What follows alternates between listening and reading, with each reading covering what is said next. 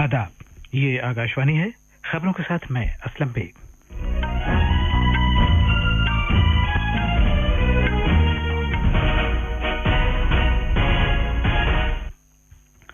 بھارت کی سرکردہ نشانے باز منو بھاکر نے پیرس اولمپکس میں بھارت کے لیے پہلا تمغہ حاصل کر کے جیت کا سلسلہ شروع کر دیا ہے۔ انہوں نے خواتین کے دس میٹر ایئر پسٹل مقابلے میں کانسے کا تمغہ جیتا ہے۔ صدر جمہوریہ، نائب صدر جمہوریہ اور وزیر اعظم نے انہیں نشانے بازی میں اولمپک تمغہ جیتنے والی پہلی بھارتی خاتون بننے پر مبارکباد دی ہے۔ وزیر اعظم نریندر مودی نے اشارہ دیا ہے کہ کھادی اور ہتھ کرگا مصنوعات کی فروخت میں اضافے سے روزگار کے نئے موقع پیدا ہو رہے ہیں۔ وزیر اعظم نے آکاشوانی پر من کی بات پروگرام میں اپنے خیالات کا اظہار کرتے ہوئے لوگوں سے کہا کہ وہ پیرس اولمپکس میں حصہ لینے والے بھارتی کھلاڑیوں کی حوصلہ افزائی کریں۔ امتحانات منعقد کرنے والی قومی ایجنسی نے C U E T U G امتحان کے نتائج کا اعلان کر دیا ہے۔ اور کرکٹ میں دامبولا میں میزبان سری لنکا نے بھارت کو آٹھ وکٹ سے ہرا کر خواتین کا ٹی ٹوینٹی ایشیا کپ جیت لیا ہے۔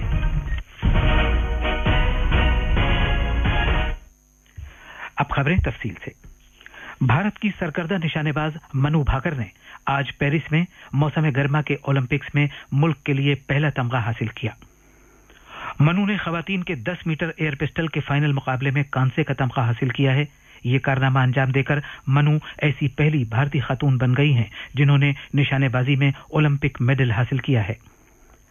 مقابلے کے فوراً بعد میڈیا سے بات کرتے ہوئے منو نے کہا کہ انہوں نے اس سلسلے میں بہت محنت کی ہے اور انہیں بہت اچھا لگ رہا ہے۔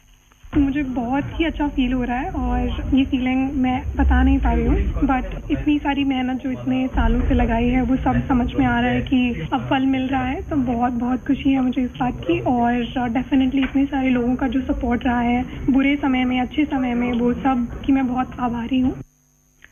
اسی دوران رمیتا جندل نے خواتین کے دس میٹر ایئر رائفلز کے فائنل کے لیے کوالیفائی کر لیا ہے۔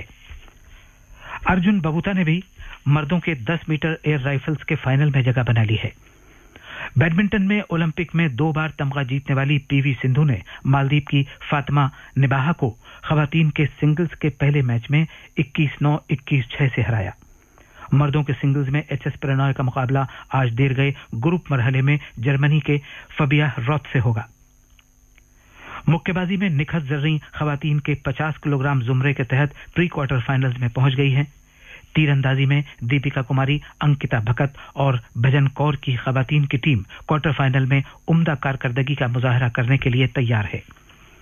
ٹیبل ٹینس میں منیکا بترا اور سریجا اکولا خواتین کے سنگلز کے بتیسویں راؤنڈ میں داخل ہو گئی ہیں۔ البتہ سرکردہ کھلاڑی اچنتا سارت کمل مردوں کے سنگلز کے مقابلے سے باہر ہو گئے ہیں۔ انہیں سلووینیا کے دینی کوزل کے ہاتھوں دو چار سے شکست ہوئی۔ صدر جمہوریہ دروپدی مرمو اور وزیر اعظم نریندر مودی نے منو بھاکر کو بھارت کے تمغہ جیتنے کے سلسلے کا آغاز کرنے پر مبارکباد دی ہے۔ انہوں نے پیرس اولمپکس دو ہزار چوبیس کے دس میٹر ایئر پسٹل مقابلے میں یہ تمغہ حاصل کیا ہے۔ صدر جمہوریہ نے کہا کہ وہ پہلی بھارتی خاتون ہیں جنہوں نے نشانے بازی میں اولمپک تمغہ جیتا ہے۔ انہوں نے یہ بھی کہا کہ بھارت کو منو بھاکر پر فخر ہے کیونکہ ان کی اس جیت سے بہت سے کھلاڑیوں، خاص طور پر خواتین کو تحریک حاصل ہوگی۔ صدر جمہوریہ انہیں نیک خواہشات پیش کی کہ وہ مستقبل میں اور زیادہ اونچائی پر پہنچیں گی۔ وزیر اعظم نریندر مودی نے آج منو بھاکر سے فون پر بات کی اور انہیں تمغہ جیتنے پر مبارکباد دی۔ اس سے پہلے ایک سوشل میڈیا پوسٹ میں جناب مودی نے کہا کہ یہ بھارت کے لیے ایک تاریخی تمغہ ہے۔ انہوں نے کہا کہ یہ ایک شاندار کامیابی ہے اور یہ کامیابی اور بھی خاص ہو جاتی ہے کیونکہ بھارت کے لیے نشانے بازی میں وہ پہلی خاتون ہیں جنہوں نے یہ تمغہ حاصل کیا ہے۔ وزیر اعظم نریندر مودی نے زور دے کر کہا ہے کہ ملک میں کھادی اور ہتھ کرگا مصنوعات کی فروخت میں اضافے سے روزگار کے نئے موقع پیدا ہو رہے ہیں۔ آج آکاشوانی پر من کی بات پروگرام کے اپنے ایک سو بارہویں نشرے میں ملک سے خطاب کرتے ہوئے وزیر اعظم مودی نے کہا کہ کھادی ولیج انڈسٹری کا مجموعی کاروبار پہلی مرتبہ ڈیڑھ لاکھ کروڑ روپے سے تجاوز کر گیا ہے، جو چار سو فیصد کا اضافہ ہے۔ جناب مودی نے کہا کہ بہت سے لوگ جو پہلے کھادی مصنوعات کا استعمال نہیں کرتے تھے، اب وہ فخر کے ساتھ کھادی کے کپڑے پہن رہے ہیں۔ انہوں نے لوگوں سے زور دے کر کہا کہ جن لوگوں نے کھادی کے کپڑے نہیں خریدے ہیں، وہ اس سال سے خریدنا شروع کر دیں۔ انہوں نے مزید کہا کہ اگست کا مہینہ آنے والا ہے اور کھادی خریدنے کے لیے اس سے بہتر وقت نہیں ہو سکتا۔ ہتھ کرگا صنعت کا ذکر کرتے ہوئے جناب مودی نے ہریانہ کے روہتک ضلع کی ان ڈھائی سو خواتین کی ستائش کی جو انتی سیلف ہیلپ گروپ میں شامل ہوئی ہیں اور بلاک پرنٹنگ اور رنگائی میں تربیت حاصل کی ہے۔ ملک میں ہتھ کرگے کا قومی دن اگلے مہینے کی سات تاریخ کو منایا جائے گا۔ وزیر اعظم نے اس بات پر خوشی کا اظہار کیا کہ ملک کے مختلف حصوں کے کاریگر ہتھ کرگا کو مقبول عام بنانے میں لگے ہوئے ہیں۔ جناب مودی نے لوگوں پر زور دیا کہ وہ hashtag my product, my pride کے ساتھ اپنی مقامی اشیاء اور سامان کو سوشل میڈیا پر اپلوڈ کریں۔ ملک میں منشیات کی لانت کا ذکر کرتے ہوئے جناب مودی نے اس سے نمٹنے کے لیے حکومت کے سرگرم اقدامات کو اجاگر کیا۔ انہوں نے کہا کہ منشیات کی لانت کے خلاف لڑائی میں ایک قدم کے طور پر حکومت نے ایک خصوصی پہل مانس کا آغاز کیا ہے۔ وزیر اعظم نریندر مودی نے اس بات پر فخر کا اظہار کیا ہے کہ آسام کے چرائی دیو میدان کو یونیسکو کی عالمی وراثت کے مقامات کی فہرست میں شامل کیا گیا ہے۔ انہوں نے یہ بھی کہا کہ یہ مذکورہ فہرست میں شامل کیا جانے والا بھارت کا تینتالیسواں مقام ہے، جبکہ شمال مشرقی خطے سے ثقافتی عالمی ورثے کا یہ ایسا پہلا مقام ہے۔ انہوں نے لوگوں سے زور دے کر کہا ہے کہ وہ اپنے مستقبل کے سفر کے منصوبوں میں چرائی دیو میدان کو شامل کریں۔ کل دنیا بھر میں شیروں سے متعلق بین الاقوامی دن منایا جائے گا۔ وزیر اعظم نے کہا کہ شیر اور انسان کے درمیان ٹکراؤ کی صورت میں شیروں کے تحفظ کے لیے غیر معمولی کوششیں کی جا رہی ہیں۔ جناب مودی نے کہا کہ کلہاڑی بند پنچایت عوامی شمولیت کی اس طرح کی ایک کوشش ہے۔ کلہاڑی بند پنچایت مہم کا آغاز راجستھان کے رنتھمبور سے ہوا تھا۔ اس پہل کے تحت مقامی برادریوں نے حلف لیا تھا کہ وہ درختوں کو کاٹنے کے لیے جنگل نہیں جائیں گے تاکہ شیروں کے لیے بہتر ماحولیات قائم کیا جا سکے۔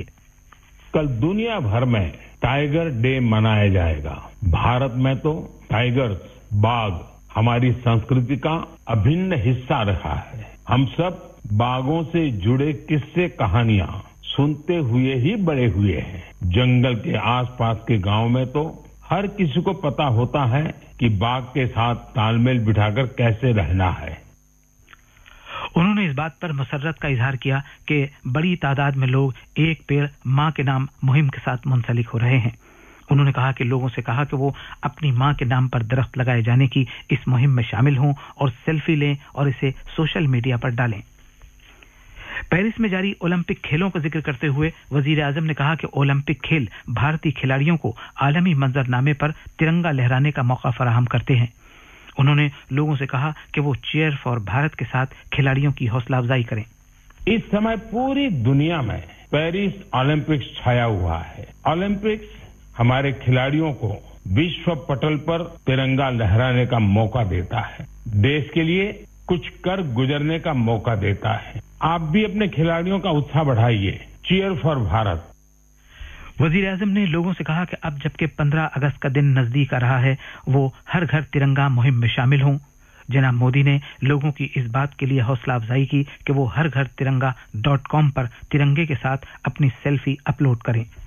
جب کالونی اور سوسائٹی کے ایک ایک گھر پر ترنگا لہراتا ہے، تو دیکھتے ہی دیکھتے دوسرے گھروں پر بھی ترنگا دکھنے لگتا ہے۔ یعنی ہر گھر ترنگا ابھیان ترنگے کی شان میں ایک یونیک فیسٹیول بن چکا ہے۔ اسے لے کر اب تو طرح طرح کے انوویشن بھی ہونے لگے ہیں۔ پندرہ اگست آتے آتے گھر میں، دفتر میں، کار میں ترنگا لگانے کے لیے طرح طرح کے پروڈکٹ دکھنے لگتے ہیں۔ کچھ لوگ تو ترنگا اپنے دوستوں، پڑوسیوں کو بانٹتے بھی ہے ترنگے کو لے کر یہ الاس یہ امنگ ہمیں ایک دوسرے سے جوڑتی ہے یہ خبریں آکاشوانی سے نشر کی جا رہی ہیں۔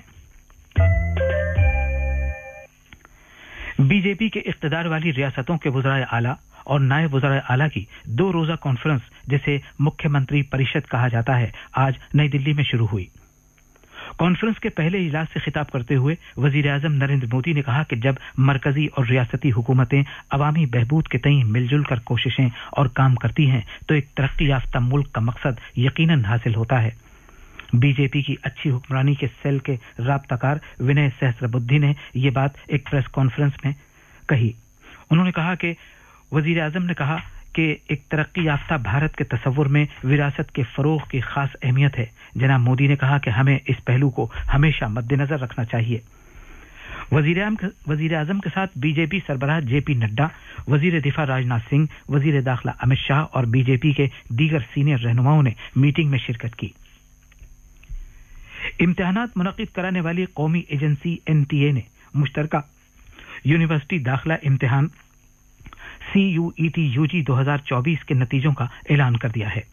چودہ لاکھ ننانوے ہزار سے زیادہ رجسٹرڈ امیدواروں کے لیے داخلہ امتحان کرایا گیا تھا۔ ان امیدواروں نے تعلیمی سال دو ہزار چوبیس پچیس کے لیے دو سو تراسی مرکزی ریاستی اور دیگر حصہ لینے والی یونیورسٹیوں اور اداروں کے لیے درخواستیں دی تھیں۔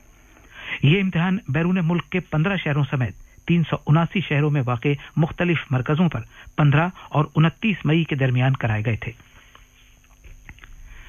سپریم کورٹ کل سے اگلے مہینے کی تین تاریخ تک ایک خصوصی لوک عدالت ہفتے کا اہتمام کرے گا۔ یہ پروگرام عدالت عالیہ کی پچہترویں سالگرہ کے موقع پر منعقد کیا جا رہا ہے۔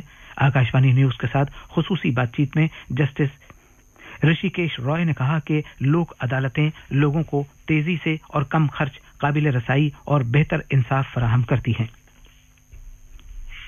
بہار پولیس عام لوگوں کی جرائم اور دیگر معاملات کے بارے میں شکایات حاصل کرنے کے لیے جلد ہی ایک واٹس ایپ نمبر شروع کرے گی۔ آج تین نئے فوجداری قوانین پر پٹنہ میں منعقدہ ایک ورک شاپ سے خطاب کرتے ہوئے بہار کے D G P R S Bhatti نے کہا کہ پولیس عام لوگوں کے مفاد میں اس سلسلے میں کام کر رہی ہے۔ انہوں نے کہا کہ اس سہولت کا آغاز کر کے پولیس خود کو اور زیادہ شفاف اور عوام دوست بنائے گی۔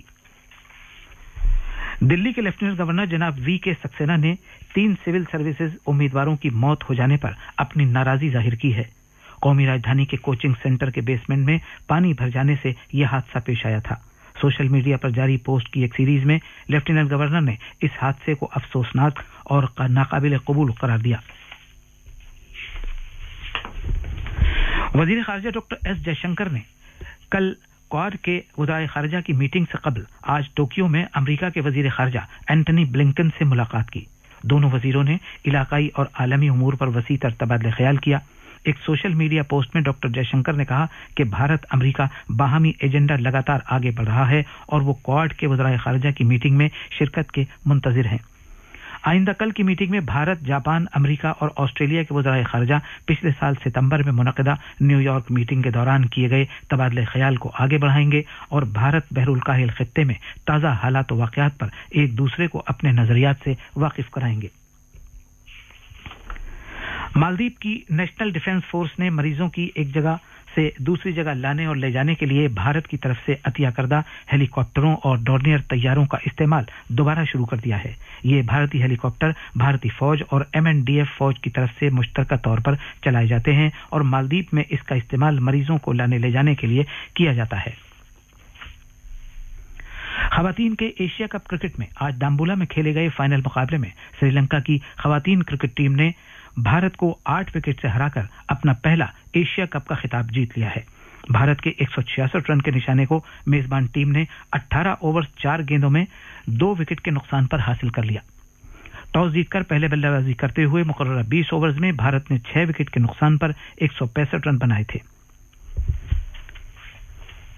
اسی دوران بھارت کی مردوں کی کرکٹ ٹیم اور میزبان سری لنکا کے بیچ دوسرا بین الاقوامی ٹی ٹوئنٹی مقابلہ پہلے کلے میں اسٹیڈیم میں کھیلا جا رہا ہے۔ بھارت نے ٹاس جیت کر پہلے گیند بازی کا فیصلہ کیا۔